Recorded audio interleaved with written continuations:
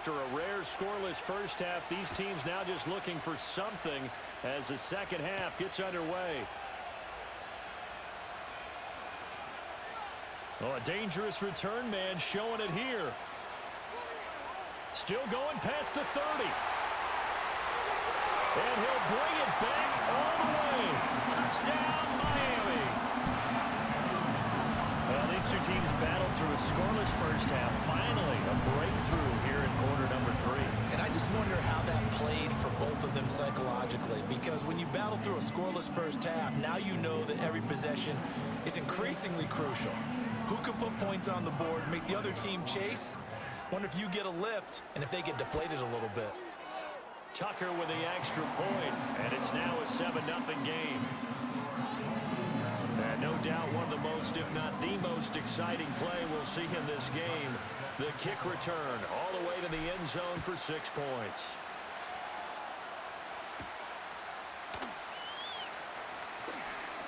Now a hit and a loose football.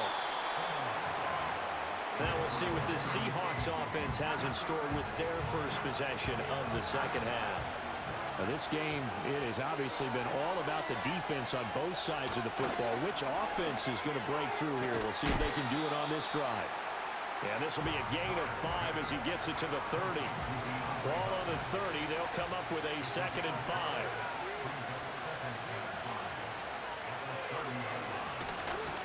Will take it up the gut.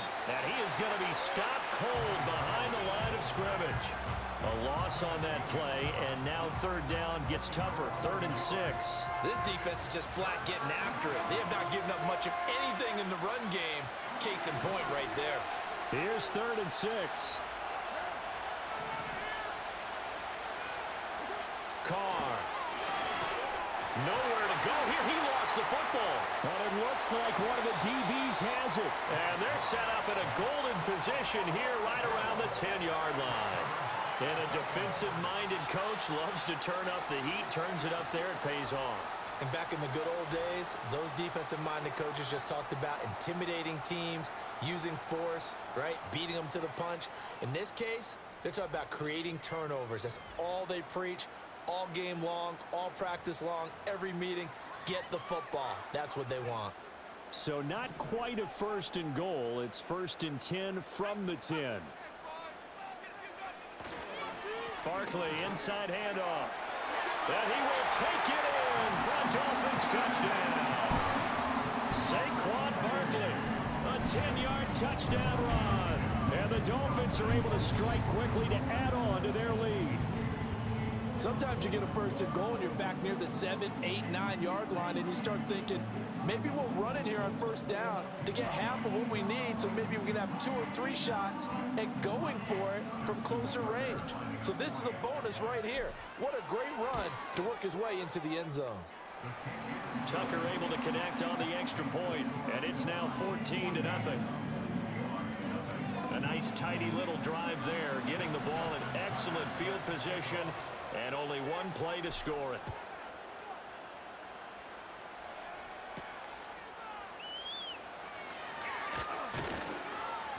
And he'll be brought down right on the chalk of the 20. The Seattle now ready to march out of the field. Well, right now, they're in a bit of a tough spot here, CD. You trail them by double digits. Remember the last time out, they fumbled. They're going to have to play some clean football here on this possession. And all the talk on their sideline has been about taking care of the football. And now the ball's out. Carr lost it. Fumble. And this is brought all the way back. A fumble recovery and taken to the house for a Miami touchdown. The offense, they've had some sloppy moments. Sloppy there again on that one, and it could be the backbreaker. From a defensive perspective, if the offense is going to be sloppy, you've got to take advantage of that. That's what they've done all game long.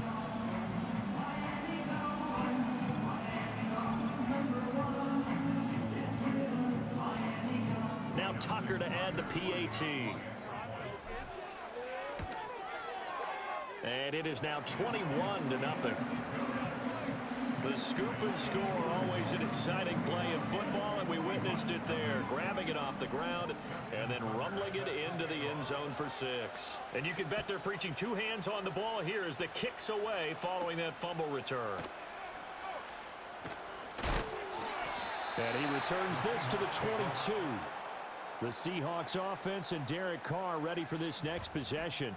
And it's been a struggle for him all afternoon. This defense has really done a nice job of making him earn everything he gets, and it's prevented him from getting into any kind of rhythm here today.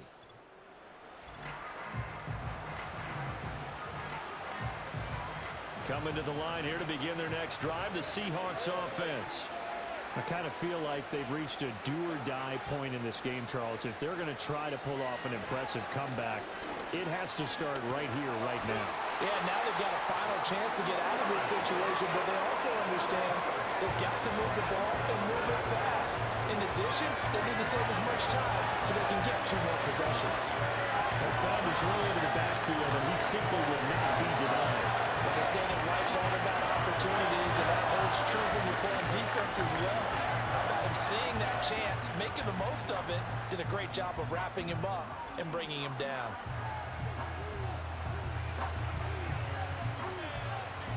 Got to imagine the pass rush will be equally intense here on second down following the sack. It's second and 18. Carr going to throw. Over the middle, complete. It's Hopkins. And he's going to get this one across the 30-yard line. So they'll come up first and 10 now from the 33. Now Carr. And the Dolphins rush gets home. Down he goes. Jason Taylor getting him once again his third sack of the afternoon. I think we've seen this before. Someone's down three scores. Situation there, just going to add to their growing frustrations, don't you think? Bad number three right now. Three-score game, third quarter, three and out, not what they wanted. And you can tell on the sideline, those faces are getting a little bit longer as this one goes. That huge loss on the sack makes this job much more difficult. It's now second down and 22 yards to go. Flush to his right. And he'll get it up to the 33-yard line. Pretty nice gain on the scramble. Gets him 12 yards. This offense in desperate need of a conversion as they come up on third down. Here's Carr. Hit from behind, and he's going to be driven down. The former third overall pick, Quinnen Williams there to bring him down. Looks like another empty possession here, partner, and I don't think with three scores down in the third quarter, they can truly afford any more the rest of the way. No, especially the way their offense is sputtering. I, I think you're exactly right. They got to find some answers quickly. On fourth down, the punt team is on as this is sent away. Yeah, Sanders now to return. Sheds off the tackle.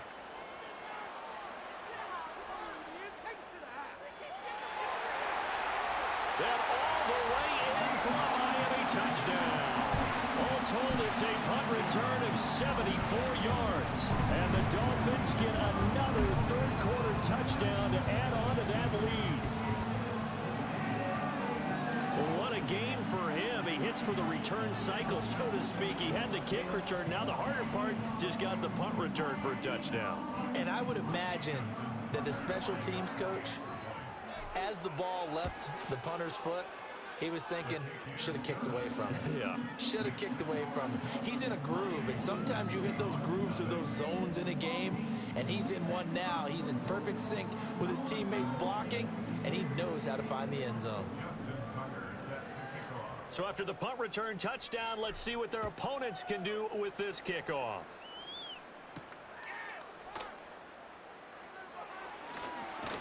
And he's going to be stopped cold. Good coverage there by the kick team to bring that return to an abrupt halt. Now the ball now going back over to the Seattle Seahawks offense. And this group has suffered far too many self-inflicted wounds thus far as we run through some of the mistakes. It, it's darn near impossible to win in this league when you're turning the ball over at the frequency that they have. Here's the Seattle offense ready to get this drive underway. Well, this has been a tough one for them, Charles. They've struggled really on both sides of the football. And one thing that's really plagued them, the turnovers. They've had issues keeping the football in their possession. And every game that's ever been played, all coaches talk about taking care of the football and limiting turnovers. And in this one, After we saw that first turnover, we worried that things would snowball, and it certainly did, especially on the scoreboard. Three quarters in the books. You are watching Madden Ultimate Team on EA Sports.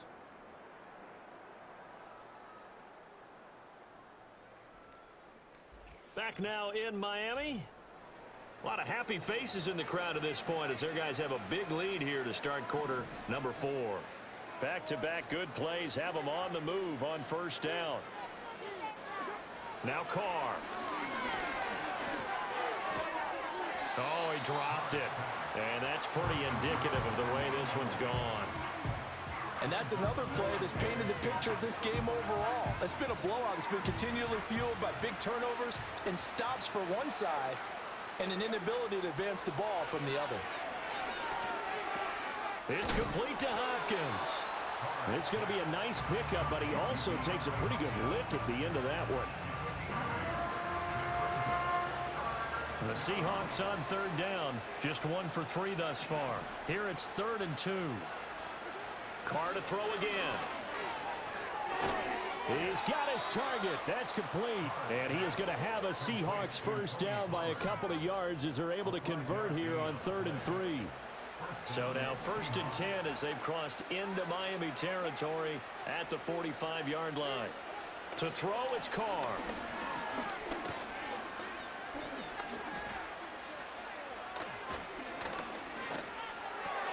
Pollard here once again.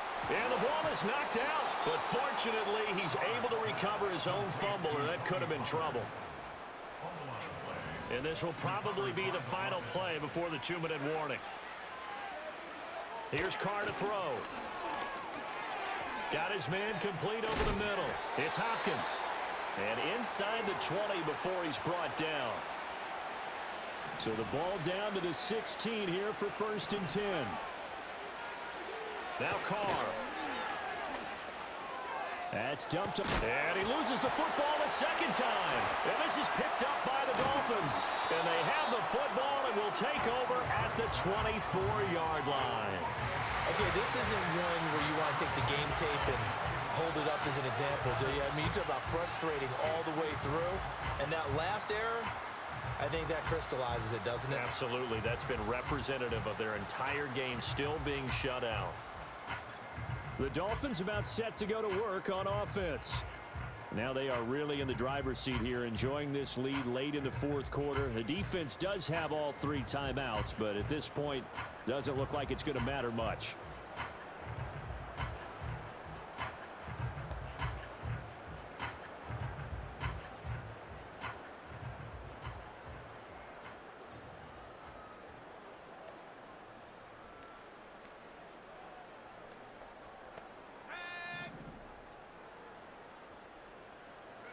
Now it looks like he'll throw here. To the sideline. Wow, what a catch. Doesn't get a lot out of it, but he is able to keep the feet in bounds. It'll go as a gain of four, and that'll bring up second down. Yeah, that one was covered pretty well because they were trying to leak the tight end out into the flat. I think they were hoping he could catch and turn upfield and pick up the first down. On play action. Now McCarthy steps away. Gets this one to use check. And bulldozing his way through. And he'll be tackled right on the chalk of the 45. 17 yards on the catch and run. It's a first down. There's absolutely been no stopping this offense today. They already have the big lead, obviously. Here in the fourth quarter, they could coast to the end, but right now they're not passing up any chances to put up some garbage time yardage. And, partner, why would they? Because who knows the next time you'll be playing as well as you have today. When you're in that zone, you go ahead and take full advantage of it. You don't worry about your opponent. You just worry about what you're doing. They'll try and run some clock here with Barkley. Well, he's free going down side. It's a foot race. And they are going to score again. Yet another touchdown as they just add to their totals. I guess when you look back on it, it was just a matter of time until he popped a big one like that. And, you know, at halftime, you and I discussed it. They had done a nice job on him in the first half. But there were a couple of occasions where it felt like he might wiggle out of traffic and take it to the house. Finally here in the second half, that got done. Tucker now to add the point after. And he's been a busy man, five for five now as he knocks another one through to extend the lead. So they only needed three plays on that drive. And it's capped off by a touchdown run from Saquon Barkley. Tucker now to kick it away following the touchdown.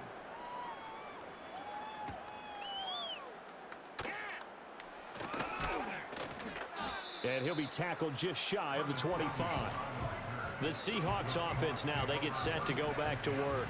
Well, I hate to say it, but at this point, I don't really know that they're playing to win with this deficit in the fourth quarter. They're just trying to erase that zero on the scoreboard, Charles, and get some type of momentum to carry into the film section tomorrow. If you get any type of points on the board, it'll count as a moral victory, although no one will talk about that in the post-game press conference. That's not something you mention in the NFL. And this loss, it already stings and will for a while, but everyone that offense knows it'll sting a lot worse if they don't put some points up on the board. Carr now to throw. Nowhere to go here. He lost the football. But fortunately, he's able to recover his own fumble, or that could have been trouble. Dangerous spot for them to cough it up. Lucky to have recovered because had the defense got it, they were already within a shadow of the goalpost. And yeah, you're yelling at your own defense. Sudden change, sudden change. That's not what you want to hear on your sideline. That means you got to run out there and try and stop an offense who has the ball in a very advantageous position. The good news, they kept the ball. Bad news, it's third and long. Throwing now is Carr. Ball hit as he throws there, incomplete. Tell you what, partner, after he ices down, he's going to be a nice long soak in a hot tub after this one. He's been under duress the entire game. And once again, hit as he throws. Fortunate that one wound up incomplete. And he's able to get it out quickly, and this is not a bad kick here. Now Sanders.